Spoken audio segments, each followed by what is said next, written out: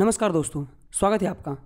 ये हमारा पॉलिटी का 47 नंबर का लेक्चर है और हम देख रहे थे हमारा पॉलिटी का चौथा यूनिट जिसका नाम है स्टेट गवर्नमेंट और इस स्टेट गवर्नमेंट वाला जो यूनिट है, उसके अंदर हमने प्रीवियस लेक्चर में सब ऑर्डिनेट कोर्ट ये जो चैप्टर है, इसको कंप्लीट किया था और अब तक हमने स्टेट गवर्नमेंट वाला जो यूनिट है, उसमें लगभग छः चैप्टर्स कंप्लीट कर लिए।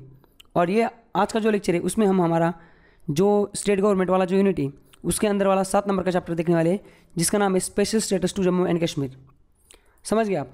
अब देखो, ये जो जम्मू कश्मीर से रिलेटेड जो चैप्टर था अब तक सिलेबस में, उसके अंदर एक चीज़ थी, वो था आर्टिकल 370 और पिछले साल तक, पिछले साल तक ये पूरा एक चैप्टर था, उसके अंदर आर्टिकल 370 जो है, इसको एकदम डिटेल में बताया गया था, इसके प्रोविजंस आर्टिकल 370 में क्या क्या चीज़ें आती है।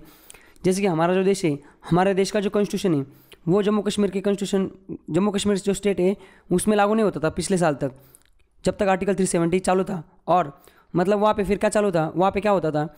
वहाँ पे उनका खुद का कॉन्स्टिट्यूशन था। खुद का, किसका? जम्मू कश्मीर का। और जम्मू कश्मीर का जो कॉन्स्टिट्यूशन है, वो जो हमारे इंडियन कॉन्स्टिट्यूशन में डाला गया है, वो आर्टिकल 370 के अंदर डाला गया है। समझ गए आप? तो हमें वो आर्टिकल 370 को एकदम डिटेल में पढ़ना पड़ता था अब तक। प्रीवियस ईयर तक, क्योंकि क्वेश्चन आते थे उसमें। तो उसमें हर एक प्रोविज़न को डाला जाता मतलब लिखा जाता था कि उसमें कौन से कौन से जो इंडियन आर्टिकल इंडियन गवर्नमेंट के जो मतलब हमारा इंडियन कॉन्स्टिट्यूशन कौन से कौन से आर्टिकल वहाँ पे एप्लीकेबल है कौन से कौन से नहीं है। तो ये सारी चीज़ हमें पढ़नी पड़ती थी।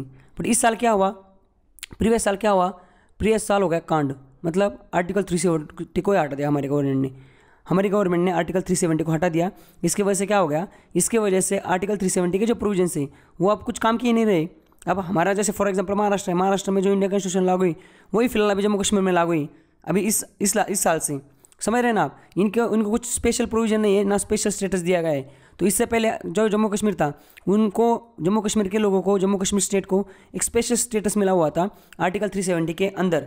तो इस साल क्या मतलब प्रीवियस ईयर क्या हुआ? वो 2019 में हमारे जो प्राइम मिनिस्टर है और जो होम मिनिस्टर है, अमित शाह और जो मोदी जी, उनके नेतृत्व में आर्टिकल 370 को हटाया गया। अब इट हटाया गया तो इसमें इसके जो प्रोविज़न है, उसको अभी हमें पढ़ने की ज़रूरत है क्या? बिल्कुल नहीं, क्योंकि वो अभी प्रोविज़न है ही नहीं तो उस पर क्वेश्चन थोड़ी आएगा। हाँ क्वेश्चन क्या आ सकता है? क्वेश्चन ये आ सकता है कि अभी जो आर्टिकल 370 को हटा दिया है तो जम्मू कश्मीर को ना दो यूनियन टेरेटरी में डिवाइड कर दिया है। एक जम्मू एंड कश्मीर है और एक दूसरी है लद्दाख।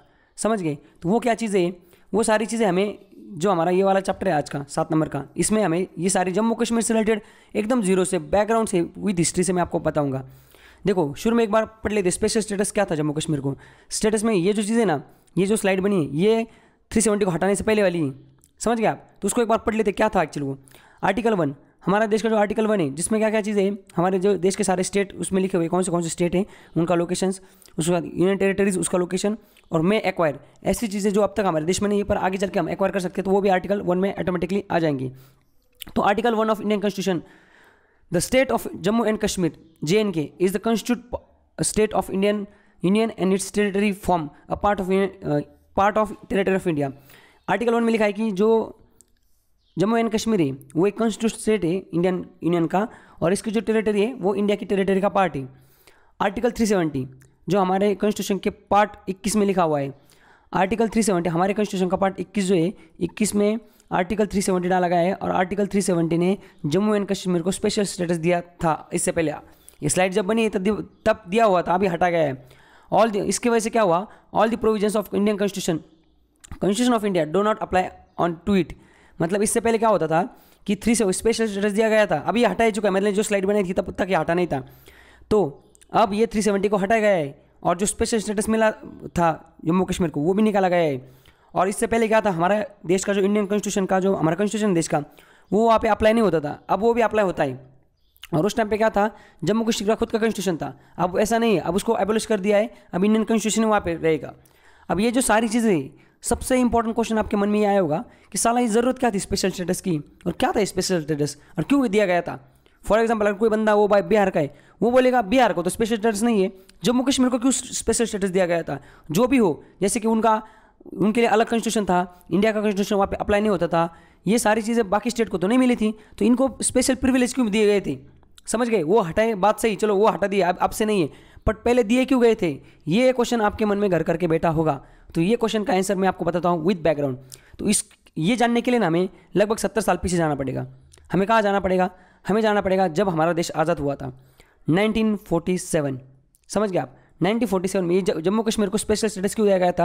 अगर इसको आपको हिस्ट्री जाननी तो हमें जाना पड़ेगा एकदम हिस्ट्री में कहाँ पे? नाइन, सत्तर साल, सत्तर अस्सी साल पीछे। 1947 में। 1947 में क्या हुआ था? देश आज़ाद हो गया था हमारा। देश आज़ाद हो गया था और देश दो टुकड़े में बट गया था। समझ गए? एक दो देश बने थे हमारे। मतलब उस टाइम पे जो इंडियन सब कंटिनेंट था, उसके दो देश बन गए थे। पहला था इंडिया और दूसरा था पाकिस्तान। समझ गए? अब जो हमारा देश का बंटवारा हुआ था, वो on the basis of religion हुआ था, धर्म के आधार पर हुआ था और पॉपुलेशन के आधार पर हुआ था। कौन सी जगह, कौन सी ज़्यादा पॉपुलेशन है? अब हुआ क्या था? अभी का जो बांग्लादेश नहीं है देखो यहाँ पे। ये जो ईर है ना, इसको उस टाइम पे ईस्ट पाकिस्तान बोलते हैं। ईस्ट पाकिस्तान मतलब उस टाइम पे जो पाकिस्तान बना था ना, वो सिर्फ़ इतना पाकिस्तान नहीं था जो अभी हम देख रहे हैं। उस टाइम पे दो पाकिस्तान थे। 1947 में जब देश आज़ाद हुआ था तो ये जो पाकिस्तान, इंडिया तो बीच में रहेगा, देखो यहाँ से लेकर पूरा इंडिया। और ये जो दिख रहे ना आपका ग्रीन शेड में, ऐसे दो पाकिस्तान मिले थे। एक था वेस्ट पाकिस्तान, एक था ईस्ट पाकिस्तान। बट बाद में क्या हुआ था, नाइनटीन का गया हाँ नाइनटीन में क्या हो गया था, एक बहुत बड़ा कांड हो गया था।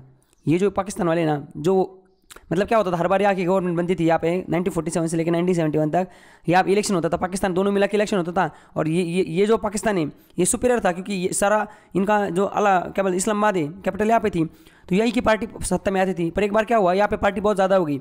इलेक्शन हुआ नाइनटीन में और इधर की पार्टी सत्ता में आ गई। अब इधर की पार्टी सत्ता में आ गई मतलब क्या, ये पूरे देश को चलेगी दोनों टुकड़ों को। इधर की जो पॉलिटिकल पार्टीज़ थी, इनको ये चीज़ मतलब इनको ये चीज़ एक्सेप्ट नहीं कर पाई कि इधर के लोग हमें रूल करेंगे सारे देश को। इन्होंने यहाँ पे मिलिट्री भेज दी, यहाँ पे जुनोसाइड करवा दिया, काफ़ी लोगों को मरवा दिया। फिर ये जो ये जो ईस्ट पाकिस्तान लोग हैं, इनको हेल्प की इंदिरा गांधी ने। इन्होंने यहाँ पे देखो, पूरा बैरिकेड्स लगा दिए, यहाँ पे आर्मी लगा दी नेवी लगा दी, इधर से आर्मी लगा दी, या एयरफोर्स भी लगा दी। और ये इनका जो मुद्दा है, वो लेके गई कहा? यूएनओ संयुक्त राष्ट्र संघ में। उन्होंने इंदिरा गांधी जी ने वहाँ पे बोल दिया कि जो वेस्ट पाकिस्तान वाले लोग हैं, वो ईस्ट पाकिस्तान वाले लोगों को उन पर अत्याचार कर रहे, उन पर जुल्म कर रहे तो उनको आप आज़ाद करवा दो। तो यूनाइटेड नेशन जनरल असेंबली में एक रेजोल्यूशन पास हो गया और नाइनटीन में जो ईस्ट पाकिस्तान था, वो आज़ाद हो गया और वो बांग्लादेश बन गया। समझ गया अभी आप? तो इस तरीके से, ऐसे हमारे देश जो बटा था, तब दो टुकड़े हो गए थे, समझ गया अभी? अब पर तो इसमें अभी एक ट्विस्ट है। 1947 में इंडिया अभी 41 बांग्लादेश बन गया, वो 41 छोड़ दो, वापस आ जाओ 1947 में। 1947 में जब इंडिया का बंटवारा हुआ था तो वो दो देशों में हुआ था, एक था पाकिस्तान, एक था इंडिया। और पाकिस्तान तो जहाँ तो वो दो जगह था, एक था ईस्ट पाकिस्तान था, एक था वेस्ट पाकिस्तान, बाद में ईस्ट पाकिस्तान वो नाइनटीन सेवेंटी में बांग्लादेश बन गया, वो छोड़ दो अभी। फ़िलहाल फोर्टी सेवन में आ गए। यहाँ तक क्लियर है। आगे आगे ट्विस्ट कहानी में। ट्विस्ट ऐसा देखो, अब क्या हो गया था? या तो हमने देख लिया, ईस्ट पे ईस्ट पाकिस्तान बन गया, यहाँ पे वेस्ट पाकिस्तान बन गया। बट बाद में क्या हो गया, देखो यहाँ पे। कुछ उस टाइम पे क्या थी? हमारे यहाँ पे ना लगभग 500 प्लस रियासतें थी। प्रिंसली स्टेट्स प्रिंसली स्टेट्स मतलब क्या? राजे रजवाड़े थी। अब हमें आज़ादी तो मिल गई। और उस टाइम पे जो 500 प्लस जो राजे रजवाड़े थी उनको ब्रिटिश ने ऐसा बोल दिया था कि एक तो आप पाकिस्तान में चले जाओ इधर वाले या इधर वाले या इंडिया में रह जाओ आप। समझ गया? एक तो आप पाकिस्तान में चले जाओ या इंडिया में रह जाओ आप। ब, ब या, या आप खुद अगर इंडिपेंडेंस चाहते हो तो आप खुद इंडिपेंडेंस आपका खुद का देश बना दो। तो बाकी सारे जो छोटे छोटे रियासतें इनकी फट गई इनको लगा साला तो कहीं पे एक पे तो जाना जा, मतलब एक पे तो एक के ऊपर तो जाना चाहिए मतलब एक पाकिस्तान में तो जाना चाहिए मतलब एक किसी एक में या पाकिस्तान या इंडिया में हमें तो जाना जाना पड़ेगा। फिर ये इन्होंने क्या कर दिया छोटी छोटी रियासतों ने इन्होंने ना कोई रियासतें पाकिस्तान में चली गई कोई इंडिया में आ गई। बट तीन रियासतें ऐसे थी वो ना पाकिस्तान में जाना चाहती थी ना इंडिया में आना चाहती थी वो खुद का इंडिपेंडेंस चाहती थी। मतलब वो चाहते थे खुद का देश बना दे। एक थी जम्मू कश्मीर, दूसरी यहाँ पे देखो ये। थी जूनागढ़ और तीसरी जो थी, वो थी हैदराबाद स्टेट। समझ गए आप? मतलब जब हमारा बंटवारा हुआ था 1947 में तो इंडिया और पाकिस्तान ऐसे दो देश बन गए थे। एक ईस्ट पाकिस्तान था, एक वेस्ट पाकिस्तान था, ऐसा एक कंप्लीट पाकिस्तान था और एक कंप्लीट इंडिया था। उसमें जो हुकूमतें थी अलग अलग रियासतें थी प्रिंसली स्टेट्स थी, उनको ऐसा बोला गया था, आप एक तो ईस्ट पाकिस्तान मतलब एक तो पाकिस्तान में जाओ, एक तो इंडिया में रह जाओ। उसमें सारे जो छोटी छोटी रियासतें थी, उन्होंने अपने इसके हिसाब से, अपनी जो पॉलिटिकल सिचुएशन के हिसाब से, एक तो ये जब, जैसे फॉर एग्जांपल यहाँ पे जो रियासत थी, वो पाकिस्तान में मिल गई, यहाँ पे जो थी, वो इंडिया में मिल गई, और कुछ रियासतें थी, वो उन्होंने उंगली करना स्टार्ट कर दिया। वो बोले, हमें इंडिया में भी नहीं जाना है, पाकिस्तान में भी नहीं जाना है। हमें रहना किसके साथ? हमें इंडिपेंडेंस रहना है, खुद के साथ ही रहना है, हमें इंडिपेंडेंट रहना है। फिर हुआ क्या? फिर ये जो हैदराबाद स्टेट था ना, यहाँ पे पटेल जो थे हमारे, ये यहाँ के नवाब के साथ मिलने गए। उनको बोला, आप इंडिया में आ जाओ। ये बोले, नहीं। फिर उन्होंने क्या कर दिया? उन्होंने पुलिस को बुलाया, प्यार से उनका पिछवाड़ा, समझ मतलब उनको पेल दिया। पुलिस फोर्स की वजह से, पुलिस फोर्स ला के हैदराबाद को मार पीट के इन्होंने इंडिया में मिला लिया। किसको? हैदराबाद स्टेट जो था, वो इंडिया ने अपने कब्जे में ले लिया। समझ गया आप? क्योंकि ये बाद में पता चला इंडिया वालों को कि ये पाकिस्तान के साथ जाने वाला है। तो इंडिया की इंटरनल सिक्योरिटी के लिए कितना बड़ा खतरा था ये? इंडिया की जो इंटरनल सिक्योरिटी थी, इनके लिए किसके लिए कितना खतरा था? अगर इंडिया के बीच में अगर पाकिस्तान होता तो कितना खतरा हो जाता सिक्योरिटी के लिए? इसलिए ये जो पटेल और वो जो न्यूरो टाइप के जो लोग हैं, इन्होंने क्या कर दिया? पुलिस फोर्स का यूज़ करके इसको इंडिया में मिला लिया। जूनागढ़ था। अब पटेल खुद गुजरात के थे, वो वहाँ पे गए। उन्होंने वहाँ की जनता को कन्विंस किया कि आप इंडिया में आ जाओ इंडिया के साथ आपका फ़ायदा है। फिर उन्होंने क्या कर दिया? वहाँ पे जाके रेफरेंडम लिया। रेफरेंडम मतलब क्या? एक टाइप का चुनाव। वहाँ आ गए, वहाँ पे पर्चियाँ बांट दी, सबको पूछा यस और नो में? रेफरेंडम मतलब क्या? यस और नो में। आपको इंडिया के साथ रहना है क्या? तो लगभग नाइन्टी फाइव परसेंट लोगों ने बोला कि हाँ हमें इंडिया के साथ रहने तो फिर इसको भी मर्ज करा लिया इंडिया में। अब हुआ क्या? ये जो कश्मीर था, अब इसको ऐसा झोल नहीं कर सकते थे। इसको ना रेफरेंडम करवा सकते थे वहाँ पे, क्योंकि यहाँ पे मुस्लिम पॉपुलेशन बहुत ज़्यादा थी। यहाँ पे जो राजा था, वो हिंदू था, राजा हरी सिंह। प्रिंसली स्टेट था ना ये भी राजा राजवाट थी ना ये भी कश्मीर, जम्मू कश्मीर उस टाइम पे एक ये थी, प्रिंसली स्टेट थी। वहाँ पे राजा था, राजा हिंदू था, पर जो पॉपुलेशन थी वो मुस्लिम थी। तो इनको लगा रेफरेंडम करवाएँगे नहीं बोल दिए तो फिर बाद में लूट भी नहीं सकते मतलब बाद में इसको मर्ज भी नहीं करवा सकते खुद में। तो रेफरेंडम ऑप्शन सही नहीं था, और पुलिस फोर्स का भी यूज़ नहीं कर सकते थे, क्योंकि इंटरनेशनल बॉर्डर टच करता था, इधर से, यहाँ पे देखो, यहाँ पे अफ़गानिस्तान था, यहाँ से चाइना था, यहाँ से पाकिस्तान था। तो इसको पुलिस फोर्स भी यूज़ नहीं कर सकते थे। फिर उन्होंने क्या किया? उन्होंने क्या कर दिया? उन्होंने देखो यहाँ पे उन्होंने इसको ऐसे रेन दिया। बोले, एक एक काम करो, ऐसे रेन दो। इसको टच ही नहीं किया उन्होंने। अब आ गया नाइनटीन आ गया। समझ गया? फ़िलहाल अभी इंडिया इंडिया में क्या क्या है? इंडिया में हैदराबाद इंडिया का पार्ट हो चुका है, जूनागढ़ भी पार्ट हो चुका है। पूरा इंडिया, इतना पार्ट छोड़ के सारा का ये इंडिया हो चुका है। यहाँ पे ईस्ट पाकिस्तान है यहाँ पे वेस्ट पाकिस्तान। है अभी साला पाकिस्तान वालों ने क्या किया पता है क्या? पाकिस्तान वालों को लगा, हैदराबाद स्टेट को कैसे इंडिया ने पुलिस फोर्स को यूज़ करके अपने में मिला लिया था? वैसे हम क्या करते, कश्मीर में पुलिस फोर्स भेजते और कश्मीर को अपने में मिला लेते। तो इन्होंने क्या कर दिया? इन्होंने यहाँ से पुलिस भेज पुलिस फोर्स भेज दिया पे? कश्मीर में। अब वहाँ पे कौन था राजा? वहाँ पे राजा हरि सिंह था। हरि सिंह की फट गई हरि सिंह को लगा, साला, अब तो ये तो मार दें, मार डालेंगे।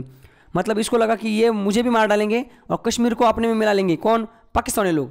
तो हरि सिंह को तब पता चल गया कि ये जो नेहरू टाइप के लोग थे, ये मेरे पास आते थे। मुझे बोलते थे कि पाकिस्तान कल आप पे हमला कर सकता है। आप हमारे इंडिया में आ जाओ, इंडिया का पार्ट हो जाओ। बट मैंने तो बहुत भाव खाया समझ गए? तो इसको उस टाइम पे पता चला कि इंडिया वाले लोग ही सही हैं और ये लोग तो मुझे टपका देंगे पाकिस्तान वाले। तो इसकी फट गई, ये आ गए नेहरू के पास। समझ गए? और इसने नेहरू के साथ एक ट्रीटी साइन की। पिक्चर समझ गए ना अभी आपको? 1947 में हमें आज़ादी मिली। आज़ादी के बाद दो देश बने, एक था इंडिया, एक था पाकिस्तान। पाकिस्तान दो जगह था, ईस्ट पाकिस्तान और वेस्ट पाकिस्तान। उस टाइम पे जितने भी प्रिंसली स्टेट्स थे छोटे छोटे छोटे से रजवाड़े थे, समझ रहे जहाँ पे राजा वाजा टाइप के लोग थे, मुस्लिम थे या हिंदू थे, उनको बोला गया अंग्रेज़ों ने, एक तो आप इंडिया में चले जाओ, एक तो पाकिस्तान में चले जाओ। तो वो अपने अपने जोग्राफी के हिसाब से कुछ इंडिया में गए, कुछ पाकिस्तान में गए, पर तीन जो थे, वो ज़्यादा भाव खा रहे थे। एक था हैदराबाद, एक था जूनागढ़, एक था कश्मीर। ये बोले, हमें किसी के साथ नहीं जाना है। जूनागढ़ में नेहरू सॉरी अपने जो पटेल थे, पटेल ने वहाँ पे रेफरेंडम करवाया, उनको ऐड कर दिया क्या पे इंडिया में? और जो हैदराबाद था, उधर पुलिस फोर्स भेज के इनको पीट मार मार के मार पीट के इनको इंडिया के अंदर कर दिवा दिया। उसी तरह के, उस तरह से जम्मू कश्मीर में ये दो चीज़ें थी, ये यहाँ पे एप्लीकेबल या अप्लाई नहीं कर सकते इंडिया वाले। इसलिए इंडिया वालों ने बोला कि एक काम करूँ, मुर्गी खुद ही अंडा देगी, वो उस टाइम पे हम अंडा ले लेंगे। मतलब एक टाइम उनको पता था, नेहरू वगैरह को, कि कल जाके कश्मीर खुद ही मतलब ये कश्मीर पे कोई ना कोई अटैक करने वाला है, और ये खुद ही हमारे पास आने वाले तब तक वेट करते तो उसी तरीके से, जैसे इंडिया ने हैदराबाद को अपने मिला लिया उसी तरीके से ये जो है क्या पाकिस्तान वाले, पाकिस्तान वालों ने जम्मू कश्मीर जो है, जम्मू कश्मीर में अटैक कर दिया ताकि वो उस जम्मू कश्मीर को पाकिस्तान में मिला दी। कब की बात है? 1948 की। तो उस टाइम पे राजा कौन था? हरि सिंह। हरि सिंह को लगा, आप तो गए काम से। हरि सिंह भागते भागते कहा, किसके पास आए नेहरू के पास आए यहाँ तक स्टोरी समझ गई। अब आगे क्या हुआ? नाइनटीन में क्या हुआ? हरि सिंह ने नेहरू के पास आए और नेहरू को बोला कि आप एक काम करो, आप हमें प्रोटेक्शन दो। ये जो पाकिस्तान वाले, ये हमें मार देंगे आप मतलब हमें, हमारा जो स्टेट है, इसको मर्ज करवा लेंगे पाकिस्तान में। जैसे आपने हैदराबाद को कर लिया, आप हमें प्रोटेक्शन दो। तो नेहरू क्या बोले? नेहरू बोले, देख भाई, मैं तो तेरे पास आया था कि नहीं दो साल पहले। मैंने तुझे बोला था कि नहीं, कि तू इंडिया का पार्ट हो जा। समझ गए? मैं तुम्हें प्रोटेक्शन दूँगा, सब दूँगा। तुमने उस टाइम ने तो भाव खाया, तुमने तो उस टाइम पे माना नहीं। हरि सिंह बोला कि पुरानी बातें पे मिट्टी डालो। आगे देखो, हमें बचाओ। तो नेहरू बोले कि, देखो, हम तुम्हें बचाएँगे, पर उसके बाद हमें फ़ायदा क्या इंडिया को? देखो, तुम्हें बचाना है मतलब हमें वो इंटरनेशनल वार में कूदना है। वो इंटरनेशनल वार कैसे? अब भाई, आप खुद सोचो ना, अभी कश्मीर क्या है? ये इंडिपेंडेंट टेरिटरी था ना नाइनटीन तक। ये इंडिया का पार्ट था क्या? नहीं। कश्मीर, पाकिस्तान ने वहाँ पे अटैक कर दिया था। इंडिया कैसे बीच में कूद पड़ता? अगर इंडिया कूद पड़ता तो इंडिया की पाकिस्तान से दुश्मनी हो जाती। मतलब आप बोलोगे तो इंडिया तो उसको बचाने जा सकता था। अरे भाई, बचाने कैसे जाएगा? जैसे अभी इंडिया कल नेपाल से के साथ वार कर रहा है। समझ गए और पाकिस्तान बीच में कूद पड़ा। तो पाकिस्तान तो इंडिया के वापस इंडिया पूछेगा ना, तुझे क्या लेने दे रहा भाई? ये तो ये जो नेपाल है, तेरा पार्ट है क्या? नहीं ना। तू अगर बीच में कूद रहा है तो फिर तू भी हमारा दुश्मन हो गया। समझ गए? इस तरीके से नेहरू ने ये जो हरी भाई हरी भाई को समझाया कि भाई साहब, देखो, अगर हम बीच में वार में अगर हम कूद पड़ेंगे तो हम पे भी तो उंगलियाँ उठेंगी। कि आप क्यों वार में कूद पड़े? कश्मीर आपका पार्ट है क्या? नहीं ना। हरी सिंह तो इंडिपेंडेंट है, आप क्यों कूद पड़े? तो आप हमें ये इंश्योर कराओ कि आप आप खुद चाहते हो कि हम बीच में कूद पड़े। आप हमें कुछ लिख के दे दो ना ऐसा कि ये जो इंडिया है ये मैं इंडिया को मतलब इंडिया को मैं सरेंडर कर रहा हूँ। मैं चाहता हूँ कि इंडिया मेरी तरफ़ से लड़े। ऐसा आप कुछ हमें लिख के दे दो। तो नेहरू हरी सिंह को तो फिर तो हरी सिंह तो ब्लैकमेल मतलब ये हरी सिंह तो चेकमेट हो गया। उसको तो इंडिया को इंडिया में आना भी नहीं था और इंडिया की हेल्प भी चाहिए थी। फिर उसमें ना, उसने क्या कर दिया? बीच का रास्ता अपने बीच का रास्ता क्या? एक तो पूरा जो स्टेट है, वो इंडिया को हम देंगे भी नहीं और इंडिया से समर्थन भी लेंगे। वो कैसे?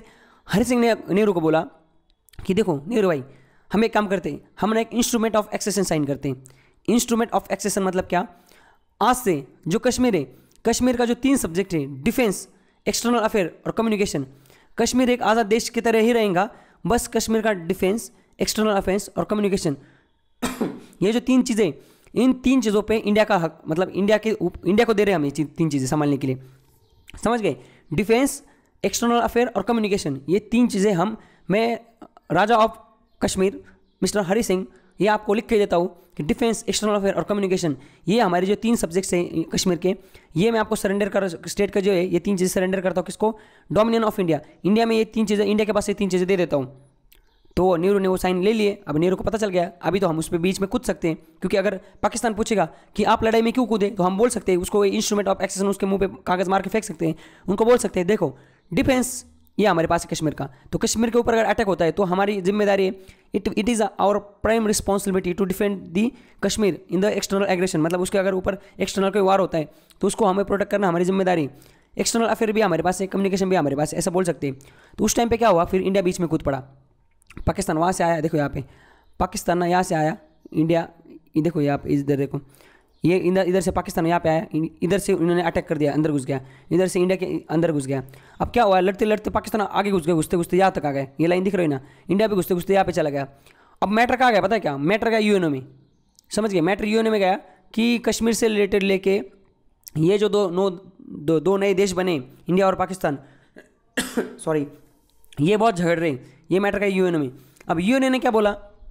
यूएनओ ने पहले बोला इंडिया वालों को कि भाई साहब आप क्यों लड़ रहे हो? सॉरी इंडिया वालों को बोला कि आप आप क्यों लड़ रहे हो? तो इंडिया वाले ने बोल दिया कि देखो, ये जो कश्मीर है, कश्मीर की जो रिस्पॉन्सिबिलिटी वो हमारे पास आई है। कश्मीर के जो राजा है, कश्मीर जो एक इंडिपेंडेंट अभी फ़िलहाल एक टेरिटरी ना वो इंडिया का पार्ट है, ना पाकिस्तान का पार्ट है। इनके जो राजा है, इन्होंने इंडिया को रिस्पॉन्सिबिलिटी दे दी है कि आप हमारे डिफेंस कम्युनिकेशन और फॉरन अफेयर देख लो। तो इनका डिफेंस की ज़िम्मेदारी हमारी तरफ़ है, इसलिए हम बीच में कूद पड़े। तो फिर यूनियन ने पाकिस्तान को बोला कि भाई साहब, आप क्यों बीच में कूद पड़े हो? आप क्यों अटैक करे उन पर तो पाकिस्तान बोला कि जब इंडिया खेले तो क्रिकेट और हम खेले तो गिल्ली डंडा। इन्होंने बोला मतलब मतलब बोले, इन्होंने तो हैदराबाद को तो ऐसे मर्ज कर लिया ना अपने अंदर। हम भी चाहते कश्मीर को मर्ज करें तो इन्होंने मर्ज किया, तब तक तो तब तो कोई कुछ नहीं बोला। समझ गए? और हम अगर इसको मर्ज करवा रहे तो ये बीच में खुद पड़ रहे तो ये उन्होंने बोला, भाई साहब, इनके पास तो कागज़ है ना। हरी सिंह ने तो इनको, जैसे हैदराबाद वाले ने तो किसको दिया नहीं था ना अपना ये। इन्होंने दे दिया इनको संभालने को तीन चीज़ें। तो फिर इस पर सुलझ मतलब सुलह निकली और सुलह ये हो गई इस पर कि आप जो जो जन, बंदा जहाँ पे खड़ा है मतलब इंडिया की आर्मी जहाँ पे, वो वहीं पे रहेगी, पाकिस्तान की आर्मी जहाँ पे, वो वहीं पे रहेंगी। और वहाँ पे हम एक लाइन मार देंगे। तो वैसे देखा जाए तो ये कश्मीर जो है ना, देखो ये ये पूरा का पूरा जो कश्मीर है ना, ये इतना कश्मीर है, समझ रहे आप? पर उस टाइम पे क्या हुआ?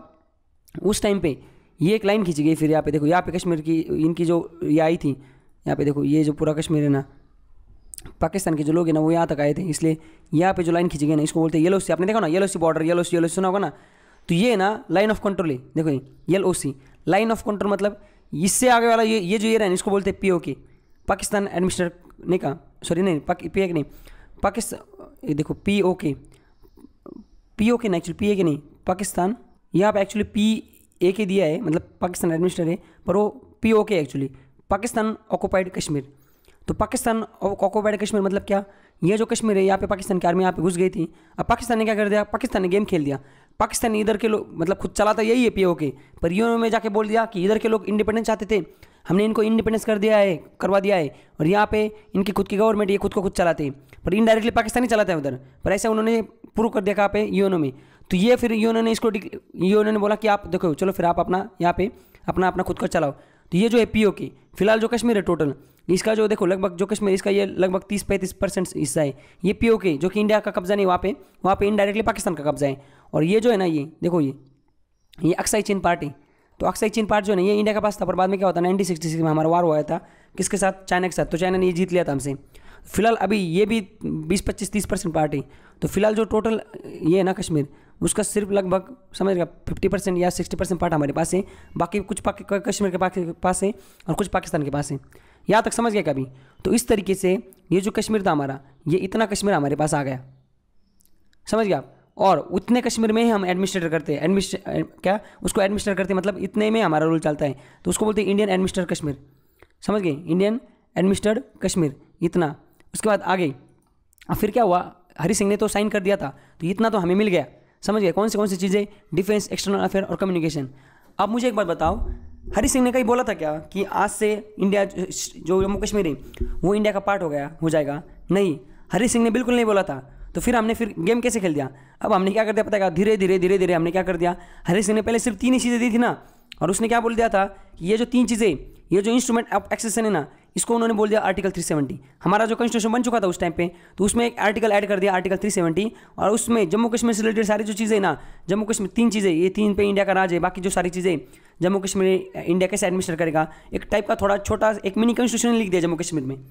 तो जम्मू कश्मीर का जो कॉन्स्टिट्यूशन है, या जम्मू कश्मीर से रिलेटेड जो चीज़ें एडमिनिस्ट्रेशन की, जो इंडिया के कॉन्स्टिट्यूशन में लिखी गई, वो लिखी गई थी आर्टिकल 370 में।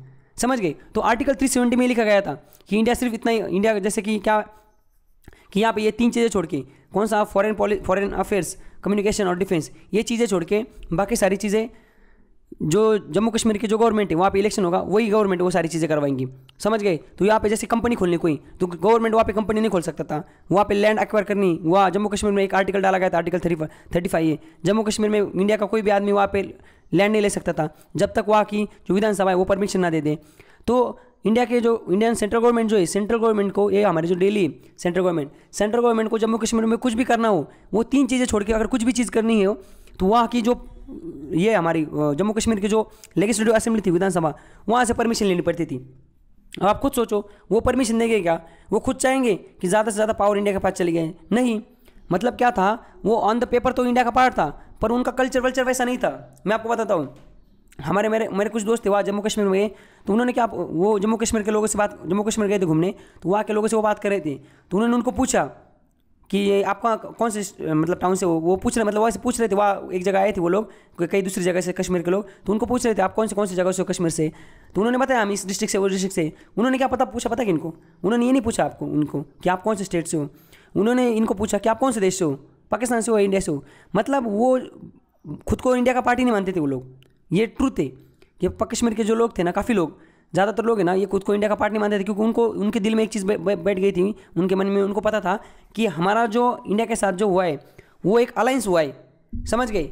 ये का मतलब इंडिया के साथ जो हमारा भी फ़िलहाल जो रिलेशन है, ये एक मतलब ये कॉन्ट्रैक्ट शादी टाइप है। थ्री सेवेंटी जब तक है, तब तक ही मतलब हम इंडिया के साथ हैं। तो थ्री सेवेंटी तो हट नहीं सकता। और हम इंडिया के मतलब वो ऐसा मानते थे कि इंडिया के लोग हम पे एक लेवल के बाद ज़्यादा रूल ना करें। समझ गए? तो यहाँ के काफ़ी लोग थे ना, ये चाहते थे कि थ्री सेवेंटी हटे ना इसलिए वो इसको अपोज कर रहे थे। और इंडिया के लोग क्यों चाहते थे? आपको पता चल रहा होगा कि ये जो बीजेपी टाइप की पार्टीज़ थी, ये 1980 1990 से अपोज कर रही थी, वो बोल रही थी थ्री सेवेंटी को हटाओ। थ्री सेवेंटी को क्यों हटाओ? क्योंकि देखो, वहाँ पे टेरिस्ट लोग आते अब इंडियन गवर्नमेंट आर्मी तो उनके पास डिफेंस पर बाकी कुछ चीज़ें वो कर ही नहीं पाती थी वहाँ पे। क्यों? क्योंकि थ्री सेवेंटी अपोज करता था। तो इंडिया की जो गवर्नमेंट है ना, वो इतनी तंग आ गई थी थ्री सेवेंटी से। वो एक लेवल के बाद जम्मू कश्मीर में कुछ कर ही नहीं पाती थी। तो सारे जो पार्टीज़ पॉलिटिकल पार्टीज़ थे, एक दो छोड़ के वो चाहती थी कि आर्टिकल थ्री सेवेंटी को हटाया जाए। और लास्ट ईयर क्या होगा फिर? आर्टिकल थ्री सेवेंटी को हटा दिया। अब आर्टिकल थ्री सेवेंटी को हटा दिया तो क्या हुआ? डिफेंस एक्सटर्नल अफेयर और कम्युनिकेशन इसके साथ साथ सारा जो स्टेट है, वो अभी इंडिया के पास आ गया। मतलब टेक्निकली जो हरी सिंह ने जो साइन किया था 1948 में, जो इंडिया के साथ जो इंस्ट्रूमेंट ऑफ़ एक्सेसन साइन किया था तो उनको, उन्होंने एक लीज पे, एक, समझ रहे क्या? एक करार के तहत ये जो जम्मू कश्मीर है, ये संभालने को दिया था टेक्निकली इंडिया के पास। समझ गए आप? और अभी जो आर्टिकल 370 हटा दिया, अब ये ओरिजिनल मतलब ये अभी पूर्णतः मुख्य रूप से ये सारा सारा जम्मू कश्मीर है अभी ये हमारा इंडिया का प्रॉपर स्टेट बन गया है। इससे पहले ये स्टेट था ही नहीं हमारा इंडिया का। समझ गए? था मतलब इंडिया का स्टेट था आर्टिकल वन में लिखा हुआ था, पर टेक्निकली नहीं था वो। आप समझ गए अभी आप? टेक्निकली इसलिए नहीं था, क्योंकि वहाँ पे इंडिया की गवर्नमेंट एक लेवल के बाद कुछ कर ही नहीं सकती थी। इसलिए टेररिज्म वगैरह सारा वहाँ पे सारे कांड वही पे होती थी। बड़े बड़े जो चीज़ें ना उड़ी हो गया, ये हो गया, वो गया, समझ गए? अभी ये इंडिया का फुल स्टेट है। आप आप खुद सोचो ना, वहाँ पे इंडिया का कॉन्स्टिट्यूशन लागू नहीं होता था। मतलब जैसे article fourteen equality for equal protection of law ये हमारे यहाँ पे है आर्टिकल नाइनटीन है। उधर वो था ही नहीं वो चीज़ इंडिया का उधर उनका अलग ही था वो साला समझ गए? इसके वजह से क्या होता था, काफ़ी चीज़ होती थी। बट क्या हुआ है, चलो, एक चीज़ तो माननी पड़ेगी। इन्होंने हटाया, ये बहुत बढ़िया चीज़ की। पर जब आर्टिकल थ्री सेवेंटी हटाना तो उसके टाइम पे काफ़ी गलत चीज़ें भी हुई थी। काफ़ी लोग वहाँ पे इंटरनेट बंद करके रखा था। ह्यूमन राइट्स का बहुत वायलेशन हुआ था, ये भी सच है। तो जब आर्टिकल रिलेशन क्या था? इंडिया का और जम्मू कश्मीर का रिलेशन क्या था? जब आर्टिकल थ्री था, तब तब देखो यहाँ पे दिया हुआ है। The state has much greater measure autonomy and power that then the enjoyed other state जैसे मैंने बताया आपको, इनके पास ना ऑटोनोमी थी। जैसे कि महाराष्ट्र है, महाराष्ट्र में अगर दिल्ली सरकार, अगर मतलब दिल्ली सरकार ने एक्चुअली हमारी जो सेंट्रल गवर्नमेंट है, वो सेंट्रल गवर्नमेंट अगर कोई भी लॉ पास करती थी, वो अपने आप महाराष्ट्र में लागू हो जाता था। जैसे मोटर व्हीकल, बिलिंग, वो अपने आप महाराष्ट्र में लागू होता था। बट सेंट्रल गवर्नमेंट अगर कोई कानून पास करते थे, कर सकते मतलब करते थे जीएसटी वगैरह कुछ भी तो वो कानून पास जम्मू कश्मीर में अगर आपको कानून पास करवाना मतलब लागू करवाना है तो वो आके जो असेंबली विधानसभा है, उधर से भी उसको पास करवाना पड़ता था, तभी वो पास होता था। ऐसा नहीं होता था वो। समझ रहे क्या आप? तो इस तरीके से हमने ये देखा कि जो जम्मू कश्मीर है, ये आर्टिकल थ्री सेवेंटी हटने से पहले इनको ऑटोनॉमी थी और सेंट्रल का जो जुडिक्शन था सेंट्रल गवर्नमेंट का, वो उस पर देखो with in the state is more limited central government का जो जुडिक्शन था वहाँ पे, वो बहुत लिमिटेड था, वो एक लेवल के बाद वहाँ कुछ हरकत नहीं कर सकते थे। और फिर बाद में क्या हुआ? बाद में आर्टिकल थ्री सेवेंटी को, जिसको, इसको हटा दिया और article three thirty five A को।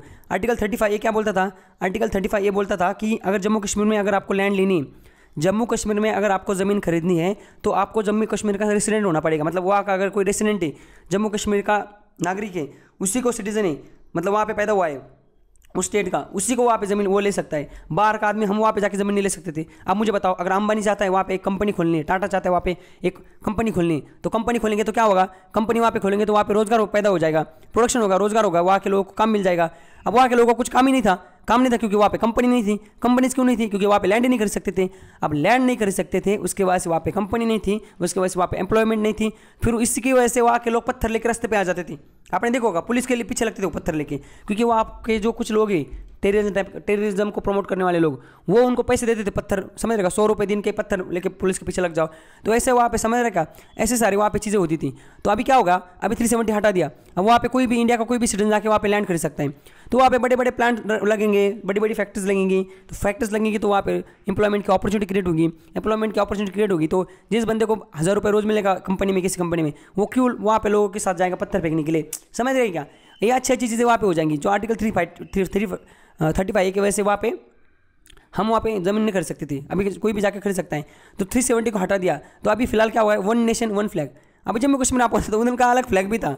जम्मू कश्मीर का अलग फ्लैग भी था, अलग कंस्टिट्यूशन मतलब सारा अलग था। मैंने बोला ना, आपको ये चीज़ें पता नहीं होंगी। मुझे भी पता नहीं थी जब तक मैंने यूपीसी का स्टडी नहीं किया था। मुझे भी लगता था कि जम्मू कश्मीर इंडिया का पार्ट इंडिया का स्टेट अरे भाई, वो टेक्निकली स्टेट नहीं था वो। वो ऑन पेपर था वो। लीज पे लिया हुआ था हमने, वो चलाने के लिए। हरे भाई से। समझ गए? तो इस तरीके से हमने ये देखा कि जो जम्मू कश्मीर है, वो थ्री सेवेंटी हटा दिया। अब थ्री सेवेंटी हटा दिया और जम्मू कश्मीर का जो स्टेट का जो ये जा स्टेट का उसके पास जो ये था, जम्मू कश्मीर एक स्टेट था ना स्टेट का जो स्टेटस था, वही निकाल दिया अभी। अब उसको यूनियन टेरेटरी बना दिया। फ़िलहाल हमारे देश में कितने स्टेट्स थे? हमारे देश में फ़िलहाल अभी इससे पहले कितने स्टेट थे? हमारे देश में कितने? ट्वेंटी ट्वेंटी एट स्टेट्स थे और यूनियन टेरेटरी कितनी थी? सात थी। समझ गए? अब इसको पकड़ के। अब क्या हो गया? एक यूनियन टेरेटरी कम हो गई छः हो गई और दो सॉरी, एक नहीं, दो यूनिट टेरेटरी बढ़ गई तो नौ यूनिट टेरेटरी हो गई और स्टेट कितने हो गए? उनतीस थे शायद ट्वेंटी एट हो गई एक्चुअली पहले ना, उनतीस स्टेट्स थी। पहले उनतीस स्टेट्स थे, और और कितनी सात यूनिट टेरेटरीज थी। अब कितनी हो गई? अब एक स्टेट कम हो गया, क्योंकि इसका स्टेट का स्टेटस निकाल दिया गया अब ट्वेंटी एट स्टेट हो गए, और यूनिट टेरेटरी कितनी हो गई? दो बढ़ गई, इसको दो यूनिट टेरेटरी में डिवाइड कर दिया तो ये दो नाइन मतलब फ़िलहाल अभी हमारे देश में अट्ठाईस स्टेट्स हो गए, और प्लस नाइन यूनिट टेरेटरी होगी। अब ये जो लद्दाख है, इसको एक यूटी बना दिया यूनियन टेरिटरी और जम्मू कश्मीर को एक यूनियन टेरिटरी बना दिया है। लद्दाख जो है, यहाँ पे सिर्फ़ एक एडमिनिस्ट्रेटर होगा, पर जम्मू कश्मीर जो है, यहाँ पे दिल्ली की तरह, जैसे दिल्ली दिल्ली एक यूनियन टेरिटरी बट वहाँ पे चीफ मिनिस्टर भी होता है एमएलए भी होते हैं। उसी तरह वहाँ पे लेजिस्लेटिव असेंबली होती है। उसी तरह ये जम्मू और कश्मीर जो है, यहाँ पे भी एक क्या होगा, यहाँ एडमिनिस्ट्रेटर होगा, उसके बाद मतलब लेजिस्लेटिव असेंबली होगी, यहाँ पे चीफ मिनिस्टर होगा, और यहाँ पे मिनिस्टर वगैरह, वो सारी चीज़ें होंगी। ये दिल्ली की तरह यूटी होगी, जैसे पौंडीचेरी में भी। और लद्दाख क्या होगा, ये यूटी होगी, वहाँ पे चीफ मिनिस्टर वगैरह नहीं होगा। समझ गया आप? तो इस तरीके से हमने ये जम्मू कश्मीर वाला जो पूरा का पूरा जो ये था, जो आर्टिकल 370 जो था, देखो अब अगर हमारा, अभी अगर ये 370 को अगर हटाया नहीं जाता ना, ये हमारा लेक्चर ना, लगभग दो लेक्चर में हमें कवर करना पड़ता। क्योंकि ना इसमें जो आर्टिकल 370 में काफ़ी चीज़ें लिखी हुई थी, एक टाइप का छोटा एक मिनी कॉन्स्टिट्यूशन ही था, उसमें सारी चीज़ें लिखी थी छोटी छोटी चीज़ें। बट अभी वो हमें पढ़ने की ज़रूरत ही नहीं क्योंकि उस पर क्वेश्चन ही नहीं आएगा, क्योंकि वो चीज़ अभी एप्लीकेबल है ही नहीं ना। समझ रहे ना? जैसे उसमें लिखा हुआ था कि अगर कोई लड़की कोई लड़की अगर शादी करके जम्मू कश्मीर से बाहर चली जाती है तो उसका जो वहाँ पे लैंड लेने का जो राइट्स है, वो भी खत्म हो जाता है। समझ गए? वहाँ पे लैंड वही बंदा ले सकता है जो जम्मू कश्मीर का सिटीजन हो। अगर लड़की वहाँ पे सिटीजन हो, पर वो शादी करके किसी नॉन जम्मू कश्मीर स्टेट मतलब किसी और स्टेट जैसे मैं हूँ, मैं महाराष्ट्र से हूँ, अगर जम्मू कश्मीर की लड़की मुझसे शादी करती, भले वो वहाँ जम्मू कश्मीर की पर वो जैसे जम्मू कश्मीर के बाहर शादी करती, उसका जो वहाँ पे लैंड परचेस करने का जो राइट था, वो खत्म हो जाता। समझ कब? आर्टिकल थ्री था तब। बट अब ये चीज़ पढ़ने की ज़रूरत क्योंकि अभी थ्री हट गया है। तो यूपीएससी उसी चीज़ पे क्वेश्चन पूछेगी, जो चीज़ अभी फ़िलहाल है, वो पिछले वाले में नहीं पूछेंगे, पहले क्या था वो नहीं पूछेंगे, जो अभी एप्लीकेबल नहीं। समझ गया आप? तो इस तरीके से हमने जम्मू कश्मीर वाला जो चैप्टर था, इसको एकदम स्ट्रैटेजिकली जो जो हमारे लिए इंपॉर्टेंट चीज़ें और कंसेप्चुअली इसको हमने एकदम डिटेल में कवर किया। तो आज के लेक्चर में बस इतना ही। Thank you so much enjoy